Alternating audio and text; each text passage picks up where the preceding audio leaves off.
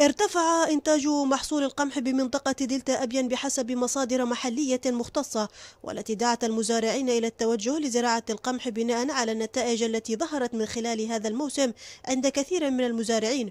ونشدت المصادر وزير الزراعة والثروة السمكية إلى سرعة دعم مزارعي دلتا أبين ببذور القمح المحسن أو على الأقل توفير للمزارعين القادرين على الشراء والزراعة.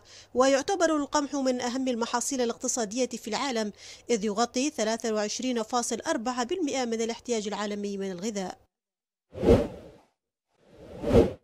سجل الاقتصاد الألماني انكماشا في الربع الأخير من العام الماضي 2022 بنسبة 0.4% ليتجاوز توقعات سابقة بلغت 0.2% وأرجع مكتب الإحصاءات الألماني في بيانات له ذلك التطور المقلق إلى عدة أسباب أبرزها التضخم الناجم عن ارتفاع أسعار مواد الطاقة والذي أثر سلبا على قطاع الاستهلاك في أكبر بلد من ناحية عدد السكان في الاتحاد الأوروبي.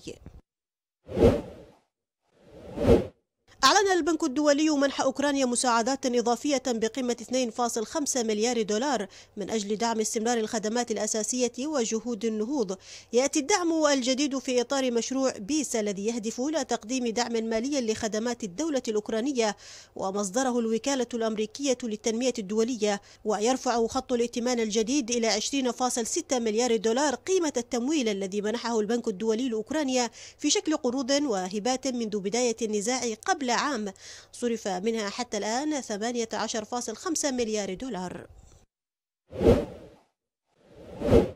تباين أداء النفط خلال الأسبوع الماضي حيث استمدت أسعار الذهب الأسود الدعم من احتمال تراجع الصادرات الروسية لكنها تعرضت لضغوط بفعل زيادة المخزونات في الولايات المتحدة والمخاوف بشأن النشاط الاقتصادي العالمي. وقال بنك جيبي مورغان في مذكرة أن احتمال هبوط الأسعار في المدى القصير يعد أكبر من احتمال صعودها ومن المرجح أن تتجه نحو ما بين 80 و 70 دولارا للبرميل.